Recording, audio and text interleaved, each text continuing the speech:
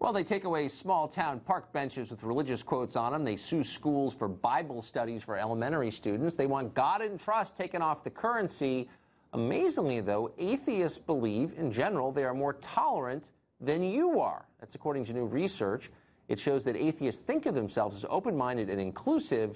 The reality, according to the study, they are actually less tolerant than religious people.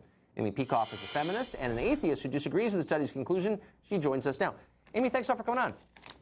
Thanks for having me, uh, Tucker. I'm glad to be here. So, are you allowed to disagree with a study? I mean, this is science. So don't you have to um, kind of cer certainly, certainly, it? I'm allowed to disagree if I think that the fundamental approach is flawed. And I think there's one question that can show you what's wrong with the fundamental approach to this study, and it's okay. this: Are you closed-minded if you refuse to seriously entertain or to spread fake news. And by that I mean a media-driven narrative for which nobody has provided any evidence. I would say no, and yet the notion of closed-mindedness at the foundation of this study is essentially the same as that. Interesting. What, it, it, flesh it out a little bit. How, how do you think this study is flawed on its most basic level? So one of the things that the study classifies as closed-mindedness is a reluctance to come up with arguments against your particular position. So right. they ask you to take a position on three different questions. They're really kind of odd questions. It has to do with whether you think homes should be painted a light color, um, whether you think that it benefits society to have homosexuals um, you know, adopt children. And the third one was whether you think that the meaning of life is a, a personal question. So, uh, you know, a bunch of random questions. But they ask you, take a position, and then they say, come up with a bunch of arguments against the position that you took. And then they say that they want you to tell you tell them whether they find that persuasive, whether you find that persuasive. So in order to be not closed-minded, according to this study, you have to come up with a bunch of arguments against your view, and you need to say that you find those arguments persuasive.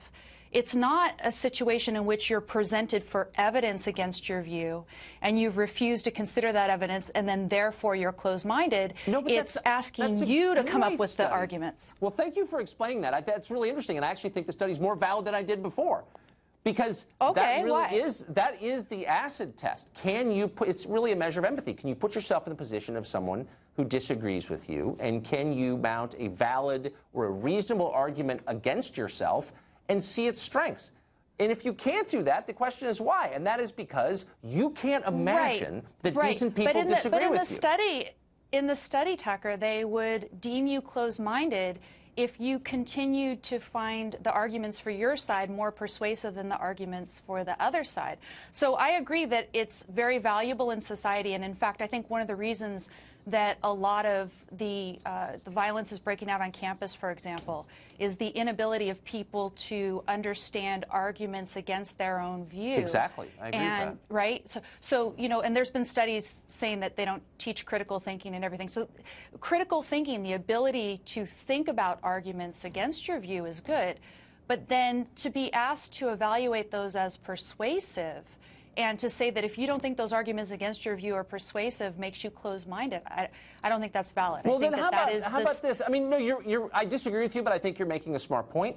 But how about just the reality that we see every day? I don't notice Christian groups suing to shut down atheist groups because they don't. But yeah. I do see a I lot am, of atheist I am, I am not. I'm not saying. I'm not saying. I'm not saying, you know, that there are not militant atheists, right? There are militant atheists. I don't happen to be one of them, and we could talk about, you know, why atheists become militant. I think more in the United States than in Europe, which was the focus of this study.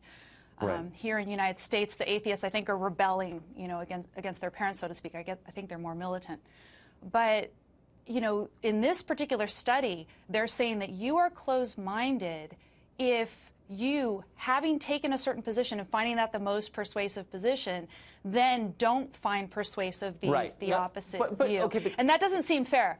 Um, there's one other aspect of the study that I think wait, let me ask a question, though, a, a broader sure. question, which is, sure. if you're a sincere Christian, and most don't live up to this, but this is the ideal, you are commanded to love those who persecute you, not just those you disagree with, but people who are actually trying to hurt you. There is no such requirement, of course, in atheism. So who's a more open-minded person? The person who's actively Right. seeking to love someone who hates them or someone who's not? Sure, but then, but then, the, but then the question is: Is that sort of open-mindedness actually a value as well? So, right. So, I have actually two two critiques of the study. One is is that it defines closed-mindedness in such a way that atheists are going to automatically come out, I believe, as closed-minded, and it's because of the issue that we just you know talked about. This issue of having to come up with arguments against your view when you don't believe there's any evidence against your view. So there's that. And then the, the second issue is that it evaluates you according to your willingness to entertain contradictions, to integrate contradictions into your own thinking. And the refusal to integrate contradictions into your own thinking is part of the basic laws of logic. So, you know, on that standpoint, I would say yes, atheists are probably more likely to follow the basic laws of logic. The preamble of this study said that Oh. atheists were more logical. I don't, so, belie- I don't believe that. I will say, I have to admit, you seem like a pretty logical atheist. But I still, I, still I, I am. I am. I've been a lifelong atheist. Okay. I hope you switch because it's depressing in the end. But thanks for joining us tonight. Appreciate it. Thank you for having me.